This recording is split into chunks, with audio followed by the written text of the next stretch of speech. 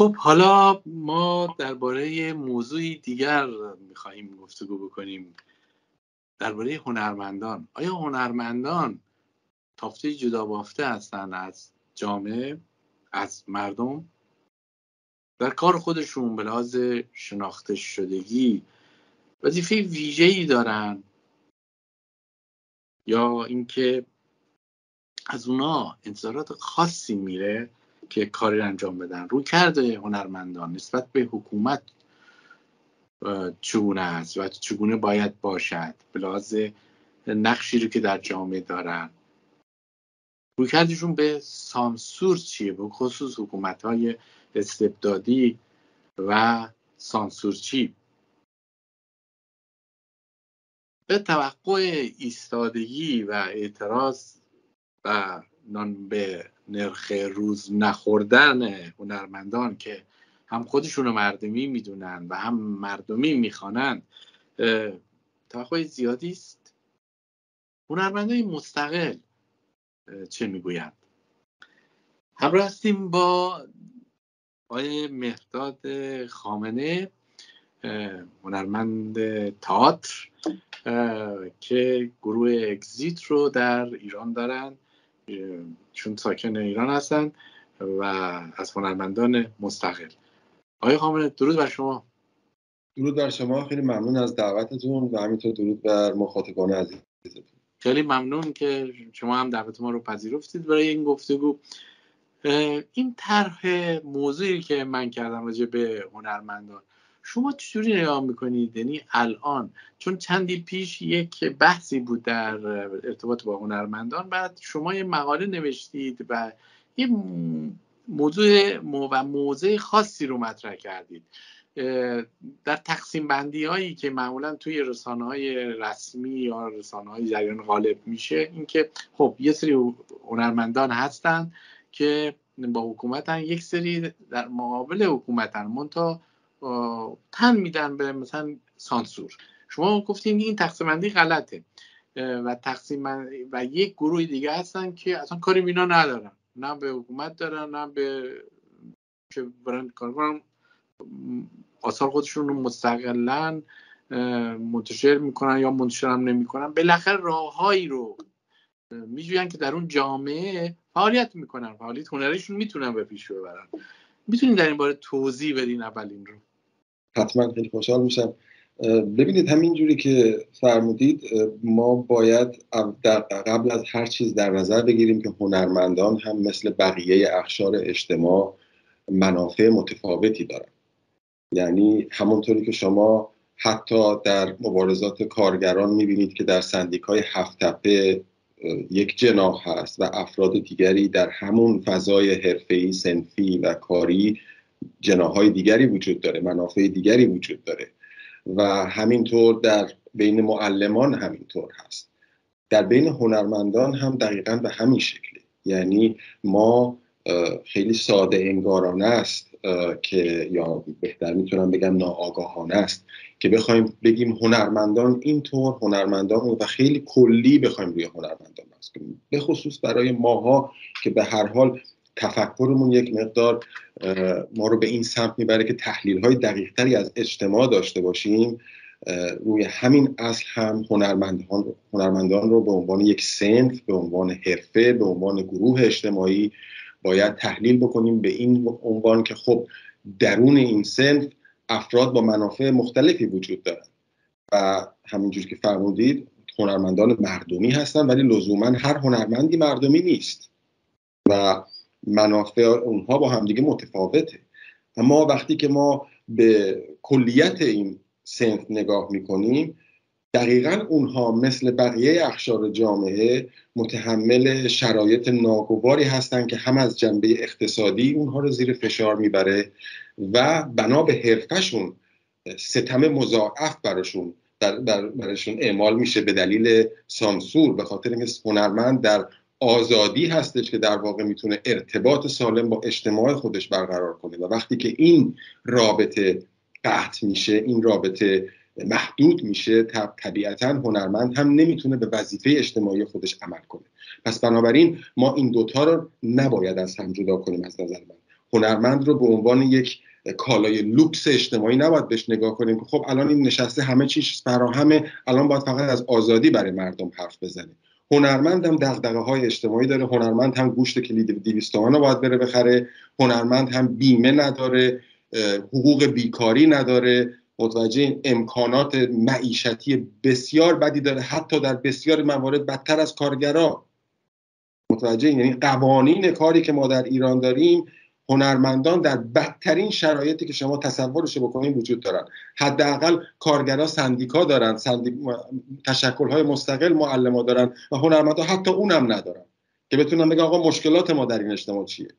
حالا این یه بخش داستانه که به نظر من اصلا نباید اینها رو از هم جدا بکنیم و به عنوان هنرمند رو هم به عنوان بخشی از این اجتماع که درگیر مسائل و مسائل این اجتماع هست در نظر بگیریم. و بعد برسیم به اینکه خب به عنوان این حرفه آزادی براش چه مفهومی داره؟ سانسور براش چه مفهومی داره و در کجای اجتماع قرار گرفته؟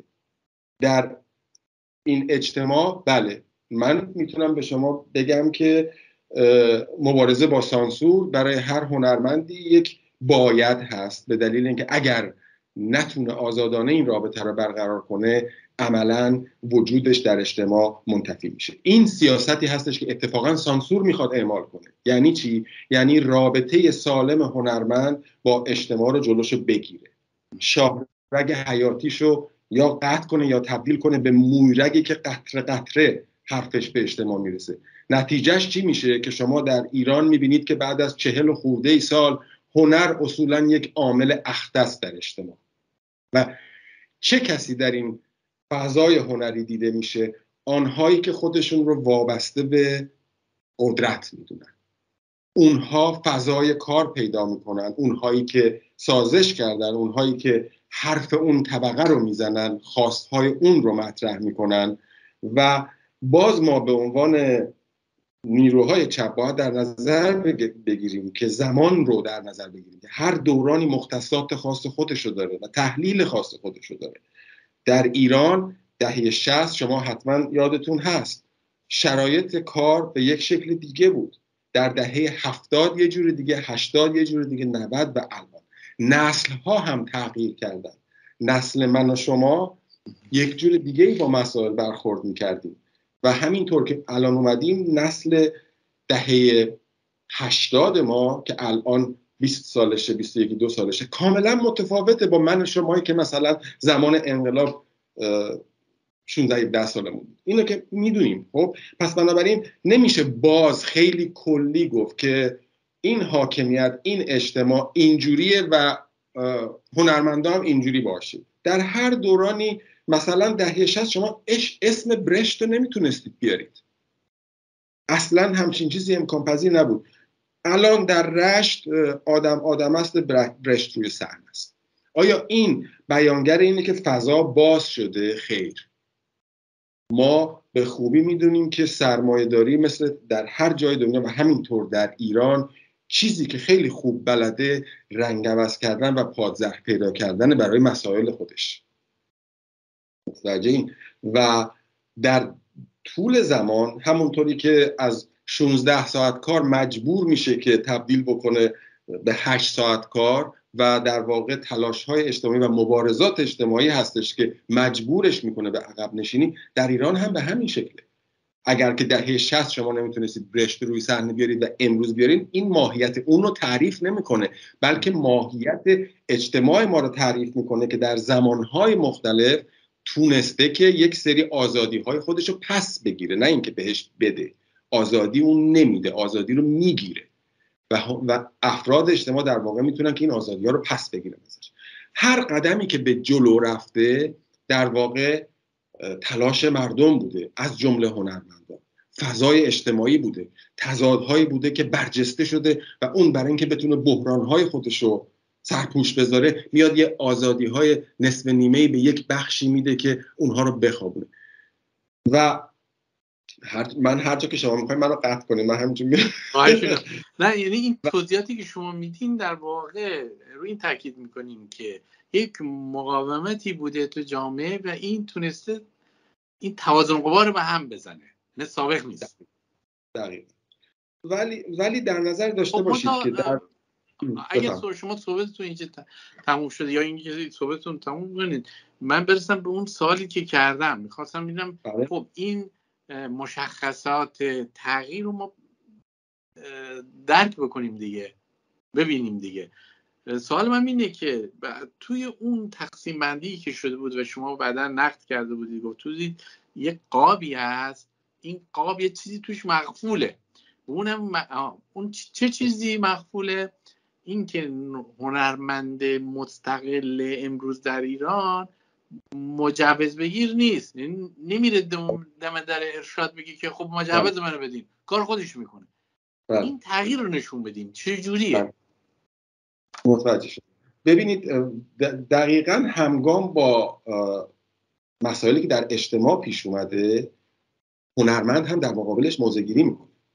یعنی ما من شخصا اینطور فکر می‌کنم که از دیماه 96 مسائل اجتماعی ما کاملا به یه طرف به یه سمت دیگه رفته نسبت به قبل از اون. یعنی شکاف ها انقدر وسیع شده که هر کس در این اجتماع باید موضع خودش رو در مقابل اینها مشخص بکنه. یعنی شما 35 سال گذشته رو می‌بینید که به هر حال این مسائل بوده ولی بسیار برجسته شده.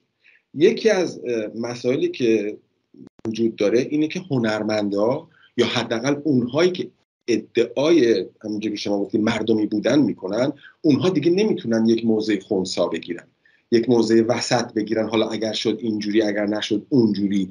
حالا داریم ما همیشه با سانسور مبارزه حالا یک به نظر من از 96 یا حداقل تحلیل من اینطوره که شدیدا تلاش میشه برای عادی سازی مسائل که هیچ چیزی تغییر نکرده در اینجا و حاکمیت هم اتفاقا شدیدا نیروش رو این متمرکز می‌کنه که از کانال های خودش بیاد مسائل رو خیلی به قول معروف سوهان بزنه. شما در تئاتر می‌بینید که نویسنده های خودش از کولبرا میان صحبت می‌کنن از مسائل کارگرا میان صحبت می‌کنن.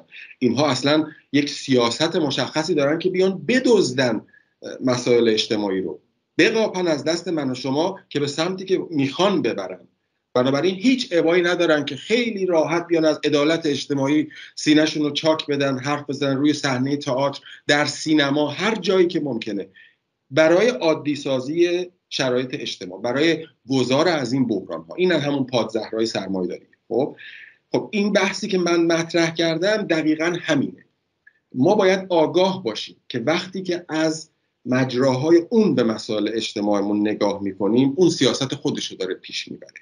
یعنی که می‌خواد شما به این شکل به مسائل نگاه کنید. وقتی که هنر رسمی رو تنها هنر کشور شما فرض می‌کنید و می‌خواد که جا بندازه که آقا این چهار تا آدمی که می‌بینید اینها ویترین هنر کشورن. ببینید اینا هم نقد می‌کنن.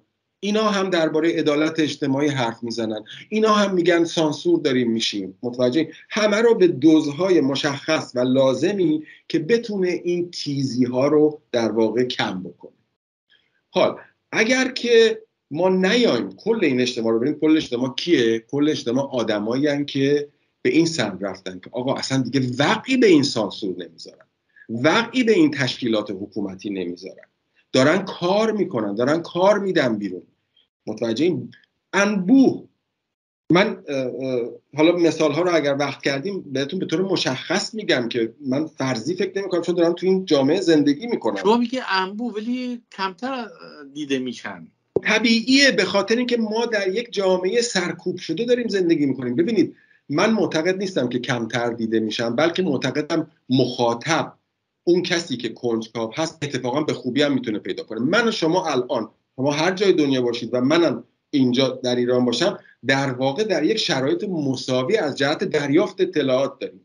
به دلیلی که من اگر بخوام دنبال یک گروه بگردم میرم کانال های مشخصی که شما هم دارید دنبالش میگردم و اگر شما این کار رو بکنید و اگر شما کنجکاو باشید مطمئنا عین من می‌تونید به اونها دست پیدا کنید و اصلا موافق نیستم که دیده کم، کمتر نیستن و به شدت هم دارن فعالیت می‌کنن. اما مخاطب بخشی از مخاطب ها تحت تاثیر تبلیغات هستن. تحت, تاثیر تبلیغات رسانه های به قول معروف بدنه وابستگانشون همه اون کسایی که می‌خوان این تصاویر رو به این شکل در اختیار مردم بزنن و ببینید اتفاقا توی اجتماع ما به خصوص نسل جوان بسیار کنجکاون و به خوبی میرن پیدا می‌کنن.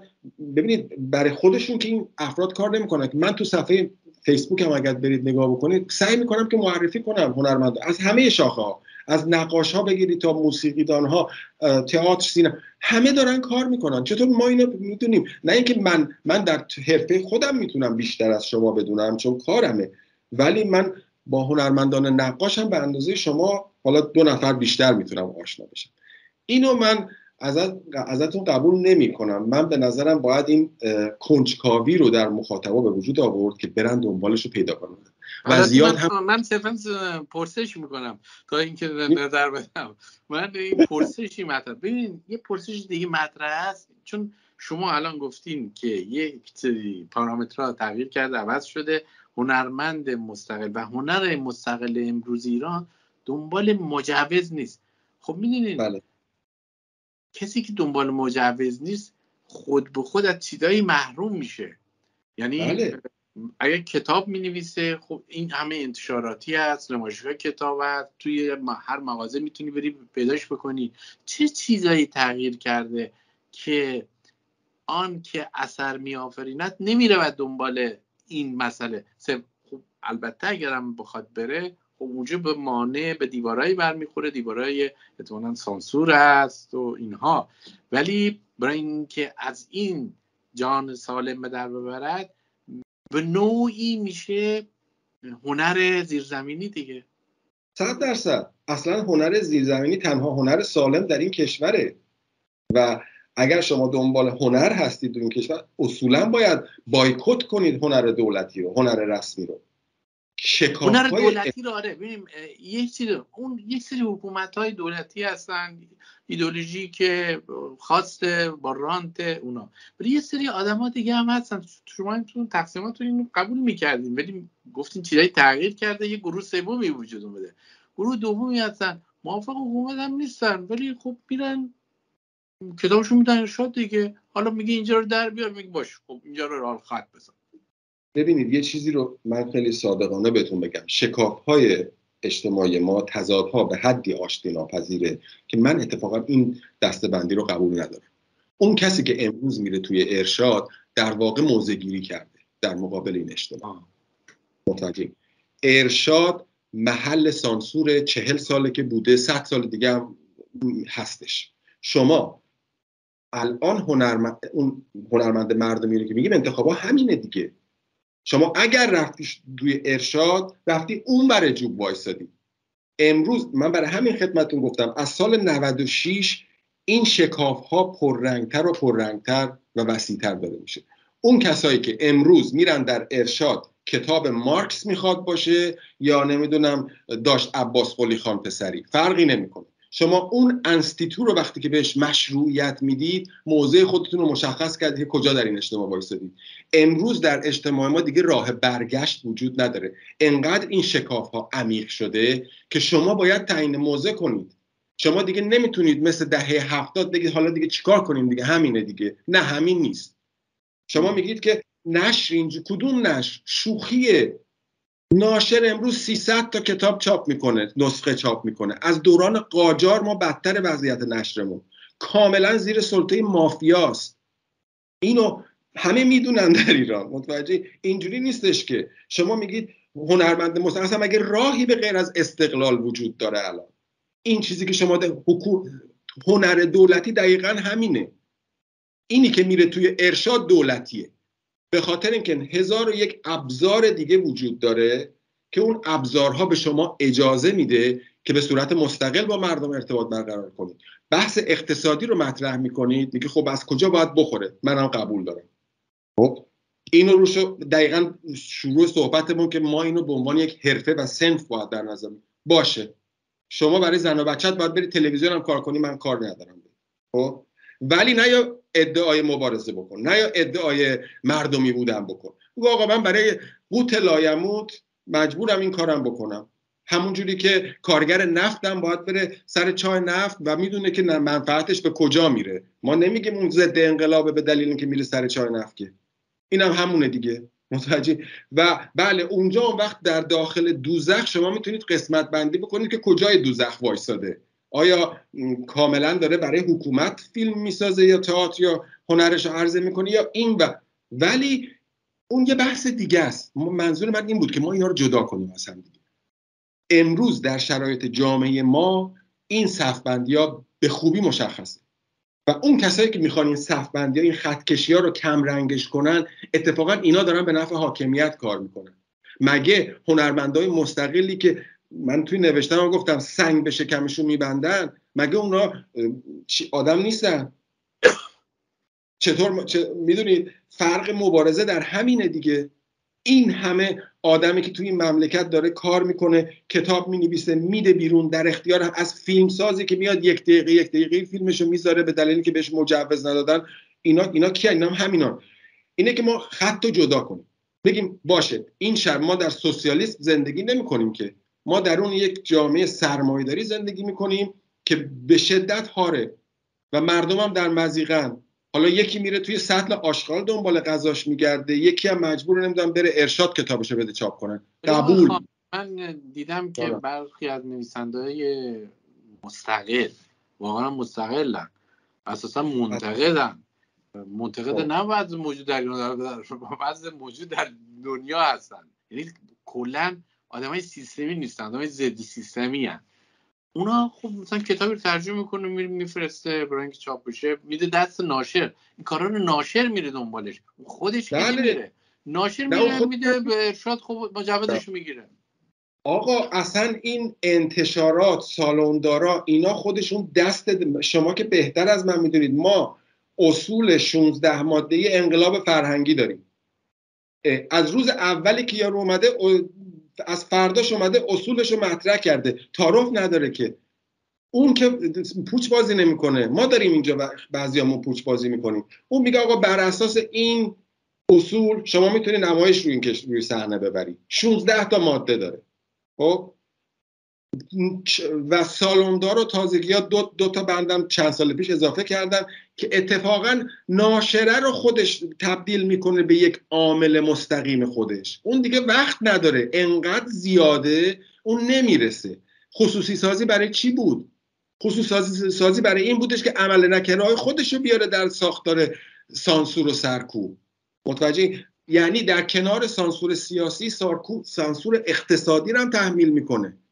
این بخش سانسور اقتصادیه. شما ناشر رو میاره. ناشر خودش از چی میگن هیزم اندازهای اصلی جهنمه. اون اصلا وقتی که از دست ناشر میره به اون دیگه کاری نداره. میگه اوکی به خاطر اینکه می‌دونه ناشره برای اینکه پولش رو در بیاره از اونم بدتر اعمال نفوذ می‌کنه. و تبدیل شده به یک باند و مافیا. یعنی به کسیفترین شکل ممکنه که شما تصور بخوایم بکنین این ساختار داره میگردونه این داستانش رو. برای همین اصلا درون این ساختار بودن جزی ازش بودن امروز اینطوریه. من نمیگم دهه هفتادم اینطوری بود. نمیگم هشتاد. من میگم الانی که ما در زندگی می‌کنیم و شما این واقعیت رو در اجتماع ما داریم می‌بینید. و اون کسایی که دائما دارن از همین قاب صحبت می‌کنن اینا دقیقا دارن به نفع حاکمیت صحبت می‌کنن. مثلا الان شما خودتون چجوری فعالیت می‌کنید؟ ما از آخرین کاری که به دلیل اینکه در, در سال 98 آخرین کار صحنه ای رو ما بردیم و بعد از اون ما اما گلدمن می‌خواستیم ببریم رو صحنه که به ما مجوز ندادن و از اون لحظه من اعلام کردم که گروه تئاتر اگزیت در ایران به هیچ عنوان دنبال مجوز نخواهد از اون موقع تا الان ما همه کارهای صحنه رو به صورت تلتئاتر ضبط می‌کنیم بدون اینکه مجوز بگیریم در فضای مجازی در اختیار مردم می‌ذاریم. تا الان آموزگاران محسن یلفانی رو کار کردیم. می شما میگید زیرزمینی چی؟ ما میشه کار کرد دیگه. الان تو این دوران دو سال کرونا همه دنبال تلتئاتر درست کردن بود. ما دو سال قبلش داشتیم این کار رو می‌کردیم.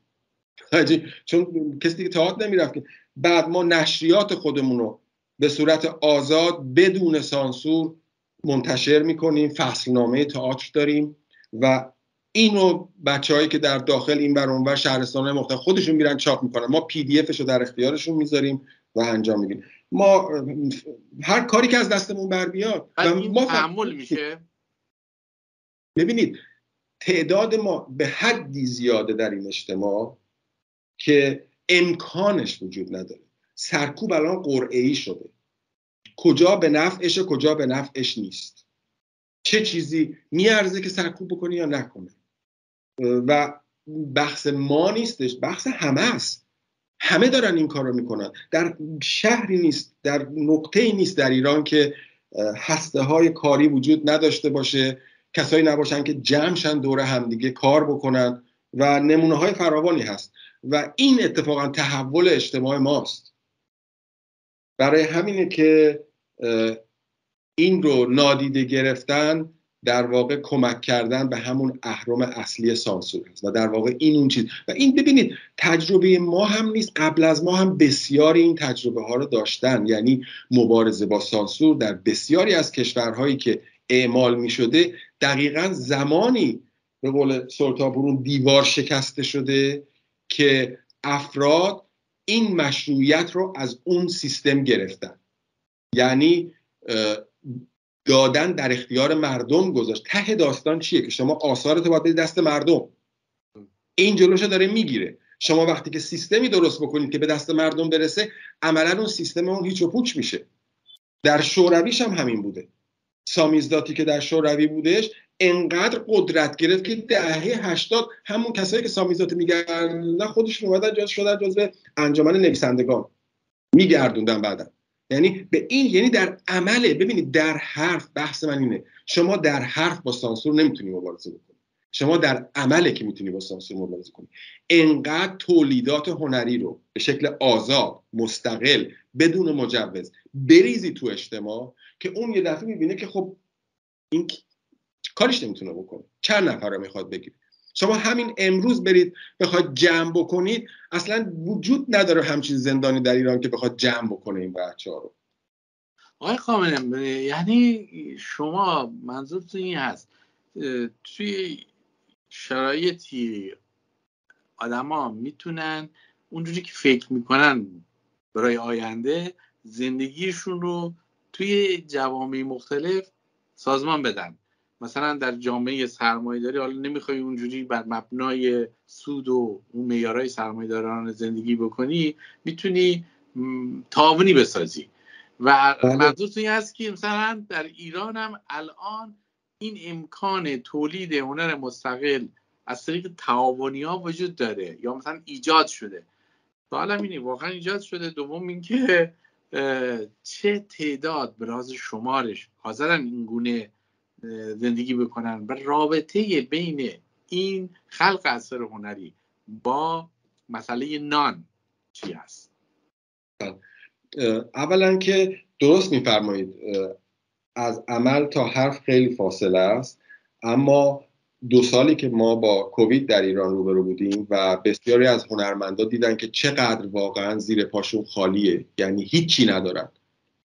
متوجه این این اتفاقا یک کمکی بود به این انگیزه ای که خب شرایط زندگی ما اینجوریه. پس بنابراین ما چرا نیم خودمون یه کاری بکنیم؟ ما در فضای هنری و متاسفانه انقدر سرکوب شده بوده که همچین تجربه ای در عمل نداشتیم. ببینید ما در سالهای 45 46 این ایده وجود داشتش که هنرمندا بیان تعاونی درست کنن. یعنی ما از نظر اقتصادی بتونیم مستقل بشیم. و کتابامون هم آثارمون هم یا هر چیز دیگر رو بدون مجوز بتونیم بدیم بیرون. عملی نشد. ولی این تنها راهی هستش که ما حداقل به عنوان یک گروه سعی می‌کنیم که اینو ترویج کنیم. تعاونی سندیکاهای مستقل تنها راهی هستش که افراد باید در دور همدیگه جمع بشن و بتونن از این چرخه استثمار هنرمند بیرون بیان. ما کاری که می‌تونستیم بکنیم اینه که در نشریات خودمون همسر من و همکارم خانم میرزا نجات حقوقدان هستند. و ایشون اساسنامه تعاونی و تجارب مختلف تعاونی رو در کشورهای مختلف رو جمع کردیم و در یک شماره دادیم بیرون. در یک شماره دیگه سندیکا. و اساسنامه سندیکا رو مدون کردیم و دادیم بیرون. برای چی؟ برای اینکه این جوانایی که تو شهرستان نشسته یا تو تهران یا هر جای دیگه حداقل اصولش دستشون باشه. بدونن چی منظور چیه. چی کار می‌تونیم بکنیم؟ حالا کی می‌تونیم این کار رو بکنیم؟ معلوم نیست. ولی پاسخ مشخص بدم به سوالتون. من می‌بینم هنرمندان نقاش ما اتفاقا دارن این کار رو می‌کنن. ممکنه در تئاتر یه مقدار سختتر باشه. یا در سینما انقدر این مافیا قدرتمنده سختتر باشه. ولی مسلما در هنرهای مثل نوشتاری در ادبیات راحتتره. در نقاشی راحتتره و دارن شما تشریف ببرید ببینید بنویسید مثلا نقاشی ایرانی در اینترنت. شما رو هدایت می‌کنه به سمت سایت هایی که نقاشا آثارشون رو گذاشتن قیمتش هست و من می‌شناسم نمی‌خوام که میگن آقا این سایت مستقل هست و شما از طریق اونها خریداری می‌کنید. نقاشی که از 25 ساله 20 ساله درش وجود داره که کار خلق می‌کنه تا 70 80 ساله. خب این که این داره عملا کارش انجام میده دیگه. مجوزم از کسی نمی‌گیره. به خاطر اینکه گالری که مجوز می‌گیره پدرش رو در میارن. دوستای من بودن که مجوز گرفتن گذاشتن اونجا. روز دوم اومدن نگاه کردن ورزشتن همه رو آوردن پایین گفتن نمیشه کار بکن خب؟ یعنی همه در عمل به این نتیجه رسیدن که در این اجتماع هنرمند باید این سمت بره. اون حرفی که ما مثلا چهار سال پیش می‌زدیم کمتر به گوش می اومد و ما رو به عنوان ماجراجو نگاه می‌کردن. آره دیگه چپا همیشه همینن. اصلا میان که شلوغ کنن. خب؟ امروز ولی همون حرف ما داریم می‌زنیم کنجکاوی بیشتر شده نگاه ها متمرکز شده روی این ایده ها به خاطر اینکه شرایط اجتماع فرق کرده. متوجه اجتماع به این سمت رفته و وقتی که شما می‌بینید در خیابان داره چه اتفاق میفته وقتی که معلمای ما رو می‌بینید که متشکل شدن این اون تجارب مثبته. یک نکته رو فقط من بگم اینه که ما بیش از هر چیزی نیاز به تجربه مثبت داریم. یعنی با حرف با حلوا حلوا دهن شیرین نمیشه. مردم باید ببینن که شما داری کار انجام میدی. اون کاری که می‌کنی نتیجه داره. اونو در اختیار من پریروز یکی از همکارای من که چهار ساله دارم بهش میگم آقا انقدر نرید دنبال این وزارت کار. این وزارت کار اصلا قوانینش درست شده برای اینکه شما رو کنترل کنه. تمام قوانینش ارتجاییه و همش هم داره بدتر میشه. هر چی دولت اومده این خواسته قوانین کار رو به نفع سرمایه داره حالا کاری ندارم. امروز پیروز به من با من تماس گرفت آقا من می‌خواستم فلان کارو بکنم رفتم ارشاد. دوباره ما رو دووندن دو ماه آخر سرم هیچ گیجی و به این نتیجه رسیدم که تا الان شما این کار کردید ما هم از الان این کار رو انجام میدیم. ما هم پنج نفر آدمیم از الان میایم جشنواره خودمون رو درست می‌کنیم نشریه خودمون رو درست می‌کنیم. خیلی عذر می‌خوام. گور پدر همه اینا. یعنی اجتماع این شرایط رو میطلبه. حالا نیروی پیشرو کارش چیه؟ که دو, دو روز زودتر اینو ببینه. آقای کامل به همینجور خودتون اشاره کردین رشته های مختلف هنری فرق می‌کنه. مثلا تو بعضی از آسونتر این کار رو کردن برای نوشتن. اصلا کسی که رمان می‌نویسه شاید اصلا کار جمعی نکنه تنهایی بنویسه. ولی مثلا تو سینما پول می‌خواد. و اساسا اگر اون امکانات پولی رو نداشته باشی عملا نمی‌تونی این کار بکنی. یا اینکه مستندسازا. خیلی از مستندسازا مجبورن از یک جایی تعمین بشن پروژهشون. بالاخره باید یک منبع درآمدی داشته باشه. بلا نمیشه بره. شما من توی سال قبلی من گفتم اون رابطه بین نان نانی که آدما باید در بیارن زندگی روزمرهشون با اون کار خلق اثر هنری چیه؟ بله. ببینید اولا در مورد سینما هم به این شکلی که میگید نیست. دوباره این یک سری تعاریفیه که این تعاریف رو با اینکه ببینید شما خیلی هم انسان مترقی و آگاهی هستید ولی اینها سویه های همون دیدگاه سرمایداریه که فیلم به غیر از این نمیشه. خیلی خوبم میشه و دارم انجام میشه. شما تشریف برید من پیروز پیروز چند روز پیش یه صفحه رو دیدم. سینمای فیلم کوتاه در ایران. اصلا مخم سود کشید که انقدر دارن کار می‌کنن و ما که خودمون اینجا هستیم اینجوری نیسته. یعنی همونجاست که هنر متحدی که ازش صحبت می‌کنه هنر مردمی همینه دیگه. اصلا این در واقعیت این نیست. و بله قبول دارم که برای توضیح فیلم متاسفانه هم چیزی وجود داره و مکانیزم های جدیدی باید پیش به وجود بیاد. ببینید تحولاتی که در سینما به وجود اومد در جهان از دهه 60 به بعد دقیقا در همین مسیر بود که سینمای تجاری تمام این هنر رو تحت کنترل خودش گرفته بود. جوانایی که امروز ما به عنوان گدار و تروفو و شابرول می‌شناسیم اینها در مقابل اون سیستم انحصاری اومدن. سینمای موج نو رو با یه دوربین 16 میلیمتری و یه میکروفون رو, رو شونه آمدن که آقا فیلم ساختن 400 ضربه برای چی ساخته شد اونجوری؟ که بعد بهترین نمی‌دونم از نفس افتاده چرا ساخته شد؟ این تحول اصلا برای همینه که این مونوپول شکسته بشه و در کشور ما هم این مونوپول شکسته شده چون این تجربه تاریخی وجود داره. بسیاری از این فیلم ها مستقلا ساخته میشن هم مستند هم داستانی و خارج میرن در فستیوال فستیوال های مختلف. ببینید امروز دیگه مثل زمان جرجیس نیستش که شما فیلمتو آپلود می‌کنی به فستیوال. تمام دنیا می‌تونه بره این فیلم رو برداره. فیلم کیفیت لازم رو داشته باشه تو هر فستیوالی که شما بگید. ما با اصلا ما تو ایران الان شرکت های خصوصی داریم کارشون همینه. فیلم فرستادن تو فستیوال ها به ایران هم اصلا کاری ندارن. اینجا فیلمش می‌سازه میده دست اون میفرسته براش. جایزه گرفت فلان قد. من دوست خودم منتقد گروه اگزیت همین. هر جایزه ای از هزار دلاری است. بله قبول دارم. ببخشید. که این شاید کفایت نان رو نکنه. به دلیل اینکه هنر ما آماتوری هست. هنر حرفه‌ای ما دست مافیاست. متوجه و چارچوب خودش داره. این معزلیه که کل این اجتماع داره. و فقط به هنرمند مربوط نمیشه. خب این ساختار بیماره. این ساختار برای چی؟ اکثر جمعیت ما دچار فقرن. خب اینم در هنر به این شکل خودشون نشون میده دیگه. بله. آقای خامنه چون تصویری یه مقدار به طرف راست بیاین که وسط تصویر بیفتی. آره، خوبه. چون همینجوری صحبت می‌کرد. حالا اگر یه توضیح بدین بعضیا به این توضیحاتی که شما میدین برم بیشتر برای درک متقابل می‌خوام این پرسش رو مطرح بکنم. بعضی بدبینم به طور کلی. یعنی این فضا ایجاد شده. اونم توی فضای امنیتی مثلا ایران چنین فعالیت هایی رو اینگونه و تحملی که می‌شود یا اینکه اون توضیحی که شما دادین مقاومتی که یه سری پارامترها یه سری چیزها رو به هم زد یه توازن قوای دیگه ایجاد کرده. یه شرایط جدیده.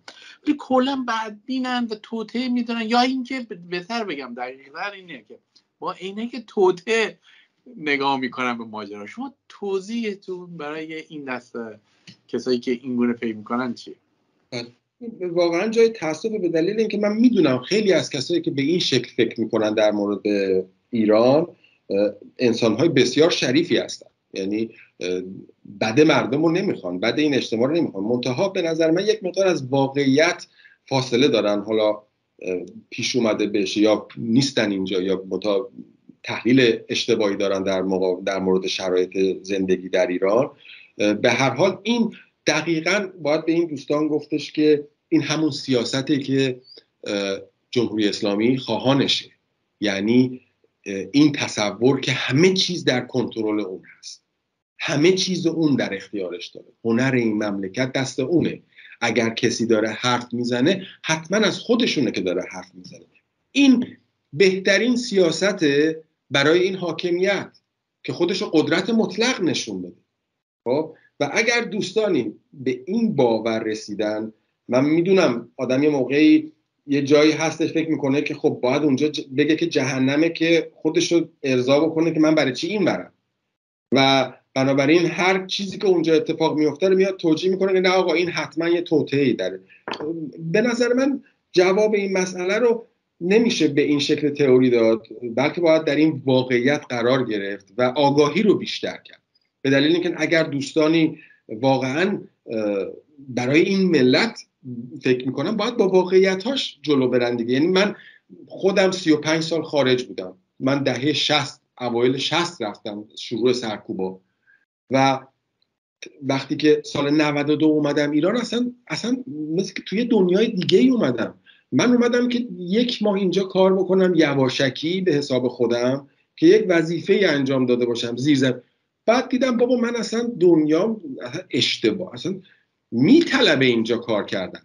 متوجه یعنی جوون ها نسل جدیدی که اومده اصلا زمین تا آسمون با ماها فرق می‌کنه. هر نسلی با نسل قبلیش فرق می‌کنه. و الان نسل دهه هشتاد و بیچارا خودشون اسم میز گذاشتنشون گودزیلا. اصلا اینا شاهکارایی اصلا انقدر آگاهی اولا این باز شدن فضای اطلاعاتی اینا رو تغییر داده. هیچ ترمزی مثل من و شما نداره. من با نسل قبلی خودم من با همسرم که کار می‌کنم به من همیشه میگه میگه آقا چقدر تو مشکل داری؟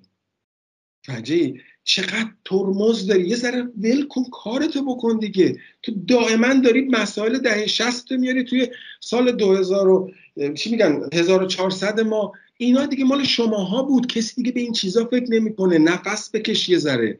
برو جلو. خب من از یک انسانی که به صداقتش ایمان دارم میپذیرم اینو. و فکر می‌کنم اینا واقعا همینطوری. اینه که ما لازمه که رو خودمون کار کنیم در مورد. این اجتماع یه جا وای نستاده. حکومت یه جا وایستاده. حکومت همیشه منظورش یه چیز بوده و هدفش یه چیز. ولی این مردم در, در هر دورانی تغییر کردن. و ما باید این تغییرات رو ببینیم تا بتونیم براشون خدمتی بکنیم کاری بکنیم. و این ویژگی این نسل دیگه چی هست؟ نسل جدید؟ نسل جدید هشتادی رو بخوایم اگه مصابت کنیم من خیلی علاقه دارم باشون کار بکنم. اینه که بسیار جسورن. بسیار آزاداندیشن. هیچ تبویی به اون شکل دیگه براشون وجود نداره. یعنی اینها در شرایطی به دنیا آمدن و بزرگ شدن که همه چی اولا مسئله که وجود داره اینه که یک مقدار این مرزبندی ها براشون از جهت آگاهی فکری مشخص تر بشه. وگرنه بیمهابا اینا کاراشون رو دارن می‌کنن. من جام به من میگن آقا چرا تو این کار میگم؟ بابا آخه اینجوری که فلان. میگن نه آقا بیا انجام بدیم این حرفا چیه؟ یعنی مثلا ما خودمون رو خیلی رادیکال می‌دونیم مثلا جلو اینا باید لوم بندازیم. بعدم می‌دونید این مسئله اینه که این پیشفرض ها این قضاوت ها این چیزی که واقعا منو خوشحال می‌کنه از نسل جدید اینه که اینها درشون دیگه وجود نداره. هیچ مشکلی با آزمون و خطا ندارن میرن جلو ببینن به خاطر که این واقعیت اجتماعشون بوده. کسی نبود بینشتون آقای حامد ممنون از اینکه در این گفتگو شرکت کردید و دعوت ما رو هم پذیرفتید. در پایان احتمالا شاید نکته هایی بوده مسائلی می‌خواستی مطرح کنید تو سوالات من نبوده. در پایان اگر نکته هست گفت سخن ناگفته هست بفرمایید. ببینید به حال من فکر می‌کنم که همه ما باید در کنار هم دست به دست هم بدیم و این فضایی که وجود داره و تحمیل میشه به همه ما به اشکال مختلف این رو بشکنیم. یعنی صدای همدیگه باشیم نفس همدیگه باشیم دست در دست همدیگه در هر جای دنیا که هستیم. و گول این ظاهر فریبی ها رو نخوریم و پشت این تصاویر رو ببینیم. یک مقدار بیشتر کنجکاو باشیم. اگر می‌تونیم به همدیگه کمک کنیم شما اگر به من از من آقا چه خبر اونجا؟ من بیام این اطلاعات در اختیار شما صادقانه بذارم. همینطور شما. و در این فضاست که به نظر ما رشد به نظر من می‌کنه. به دلیل که نیروهای دست راستی به حدی قوی شدن به حدی متحدن برای کوبیدن ماها از هر سویی که شما در نظر بگیرید اینه که ما چاره ای نداریم جز این که در کنار هم باشیم و دست همدیگر رو بگیریم و صدای هم باشیم. من از شما خواهشی که می‌کنم از همه دوستانی که دلشون واقعا با ما هستش در اینجا اینه که صدای همدیگه باشیم. فقط صدای زندانی های سیاسی قرار نیست باشیم که واقعا خیلی مهمه و باید باشیم. صدای سرکوب ها فقط بلکه صدای فرهنگ صدای نفس هایی که در اینجا مستقل کشیده میشه. این تئوری های توتعه رو بذارین کنار. شما از من پرسیدید که برات بد نمیشه بیای توی این مصاحبه. گفتم آقا آب از سر ماها گذشته اینجا. قرار چی بد بشه برای ما؟ از این بدتر چی؟ اینه که یه ذره با هم صادقتر باشیم و رفیقتر باشیم و در کنار این مردم بتونیم یه مقدار کارایی رو انجام بدیم دیگه. و به نظر من این تای داستانه و خیلی ممنونم از اینکه منو دعوت کردید و همینطور وقتتون که امیدوارم حرفایی که زدم یک مقداری روشن کرده باشه یک سری مسائل. خواهش می‌کنم. خیلی ممنون و موفق باشید. شما هم همینطور. موفق باشید. متشکرم.